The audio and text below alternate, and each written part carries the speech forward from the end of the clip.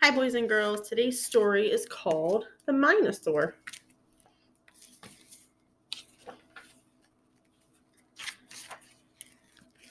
One morning, before Mrs. Raptor rang the bell, the dinosaurs were playing in the schoolyard. All of a sudden, they heard a roar Mine, mine, mine! Oh no, muttered Stegosaurus.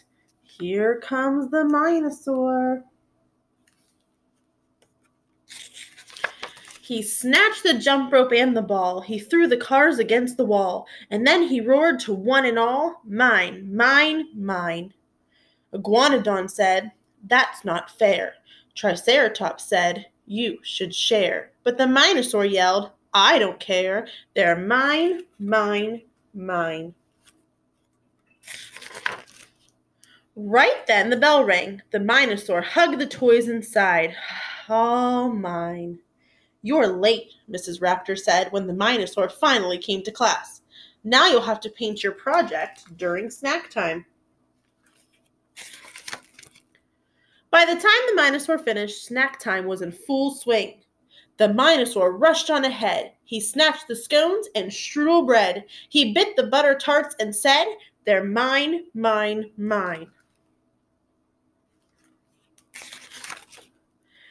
That's our food, yelled Apatosaur. No, it's not, cried Mine-o-saur, and soon there was a tug of war as he wailed, Mine!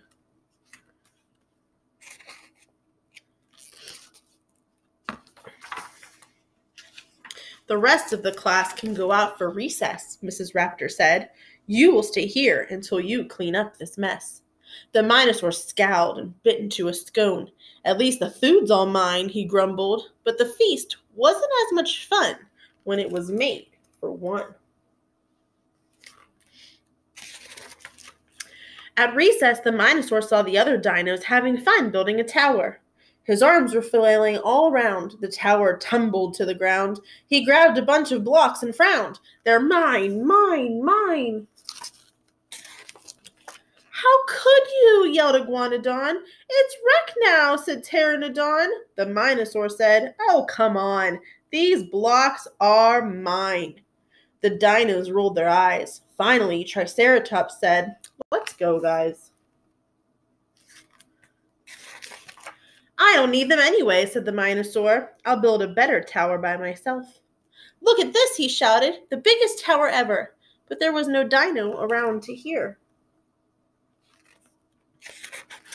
At the other end of the yard, the rest of the dinos were laughing and playing. They didn't seem to miss the Mine-o-saur at all. The Mine-o-saur began to shake. There's nothing left for me to take. No toys at all, for goodness sake. And they don't care. The Mine-o-saur wanted to laugh and play too, so he gathered up all the stuff that was his and headed toward the dinos. The Mine-o-saur asked, Want some snacks? The other dinos turned their backs. I brought the blocks for us to stack. Come on, let's share.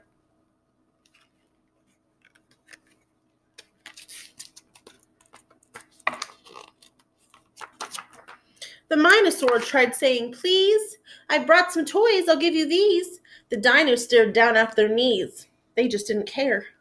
Okay, then, said the Mine-o-saur. He put all the stuff down. You guys should play.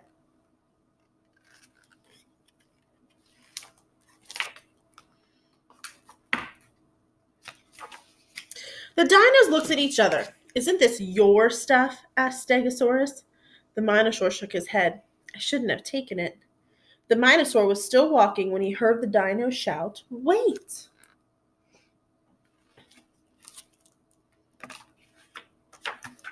They said, We want to play with you, said Mine-o-saur. You really do? The dinos nodded. Yes, it's true. If you'll share, it's fine. The Mine-o-saur yelled, It's a deal. I have the thing I want, he squealed. You don't know how this makes me feel. My friends, you're mine. Mine, mine, mine. All right, boys and girls, see you next time.